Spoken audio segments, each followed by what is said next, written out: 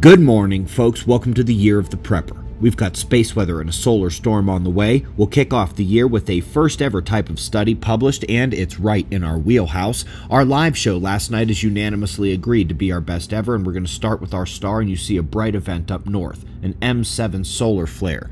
It's followed towards the end of the sequence, bottom left near the 8 o'clock position, by a filament that erupts violently. While that one is aimed about 90 degrees away from our planet, the first one is driven by the solar flare and was closer to central heliographic longitudes, the coronal plasma push suggests CME eruption.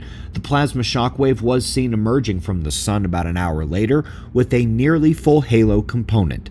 NOAA is confidently saying that early on the 3rd, which is dinner time in the Americas on January 2nd, that shock wave will arrive at Earth and has a chance to drive the first auroral event of the year. We'll be watching closely for that event and anything else coming from those sunspots. Folks, our science news to kick off the new year is this. You know, all those pre earthquake electromagnetic anomalies in the atmosphere? Turns out the Hunga Tonga eruption had one too. And guess what? They want to discount it as being unrelated because a solar storm disturbance traveling through the ionosphere hit the area at that exact moment. Just a coincidence, they say.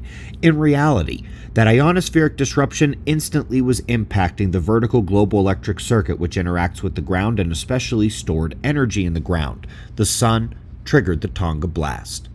Folks, last night was the first of the new format 75 minutes of science, no salt, no Angry Ben, and that guy won't be on the channel again. But for those who stuck around on our other page, we did go another 45 minutes and it was 100% Wang half. If you missed it last night, the live stream is on our channel homepage. Folks, the Orlando event is nine days away, but it is sold out. There's less than 10 tickets left for Dallas in February. Las Vegas in March has 21 seats left link below. And folks, our special issue of the E magazine is a masterpiece to kick off the year. It's all the major pole shift and Earth disaster cycle articles from 2025.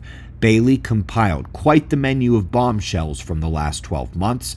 It's still the only publication on Earth actively tracking the pole shift and Earth disaster cycle. It's the best way to support this YouTube channel, and it's the best way to stay updated on the biggest stories related to the disaster cycle and why they matter.